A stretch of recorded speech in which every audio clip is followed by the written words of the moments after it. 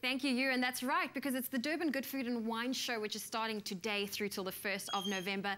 And like you just heard, our very own Ewan and Chef Zola, they'll be baking up a storm at the Selati Baking Theatre. That's tonight at quarter to seven. Now, you can also stand a chance to win one of five sets of double tickets. Now, you need to be in Durban this weekend and also available to attend. Now, to win, all you need to do is SMS win your name and city to 33728. And who knows, you could stand a chance to win. No, some T's and C's do apply. Those can be found on our expressoshow.com website. But we still have a lot coming up for you this morning. Leigh-Anne has those details.